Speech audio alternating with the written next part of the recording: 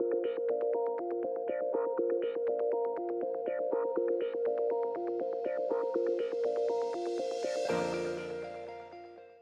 little explanation as to what a macro is. Uh, some people from a CAD application might refer to a saved circuit as being a block. Within the world of EPLAN, we refer to our saved circuits or sub-circuits as macros. Now, what we can do is have something called a window macro, which is a collection of circuit from one page. We can even have a page macro, which is multiple pages. So, if you have a complete sort of uh, power circuit spanning across uh, two, three pages, that could be selected and dropped into the project in a quick and easy fashion, i.e. dropping one file in there, and that will then come across uh, three or four pages. Macros are the rudimentary basics of your building blocks. So if you're doing a copy and paste on a regular basis from older or other projects, then I would say consider making a macro. A macro is available from a centralized library accessible to all users. That basically means everyone is working from the same library set.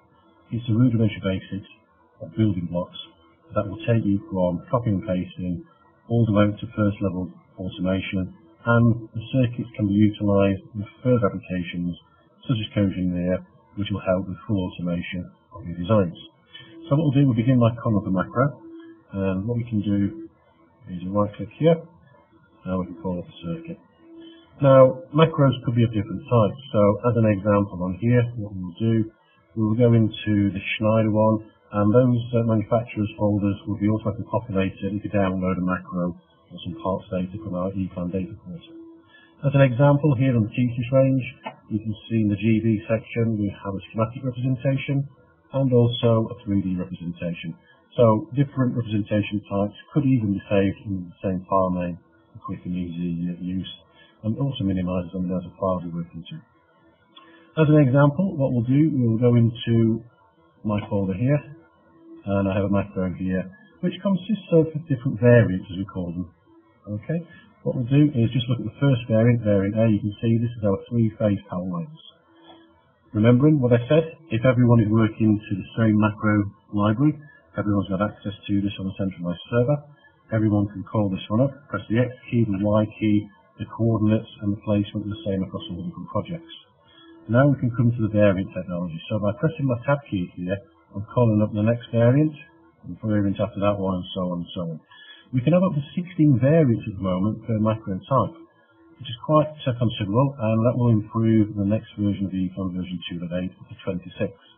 Now, I'm uh, pausing there at the moment, but what we can do, I can press the tab key again, and we reset back down to variant A, variant B. So want one drive, stop at that point, or continue with variant choices if you want more drives in this example.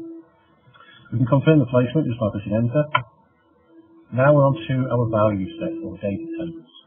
Drive 1, we can size it now and go with a 0.55. The middle drive a 3 kilowatt and the final one a 4 kilowatt. Confirm we want all the items numbered in this project, so that way to avoid duplication. And what we can now do is just take a quick look at the value set here. So this 0.55 is selected, first of all, sized from this data table, the protection equipment is a 0.7 amp to 1 amp. Down here we can also see the 1 mil and the 0.55 on the drive. But the data table, quick look inside it, we can see in here all the different drive sizes are our selections, and you can see what we're doing, we're actually changing all the part numbers to all those different server devices on the system. So if I then later on want a quick and easy change, we do right click, assign value set, and we can go from 0.55 to let's say 4 kilowatt, and remembering that 0.7 amp now becomes 4.5 amp, we change the part number, which will contribute to the material. We've increased the 1 millimeter square to 2.5, and likewise you can see the now because of 4 kilowatt. Thank you for listening that, Nicholas.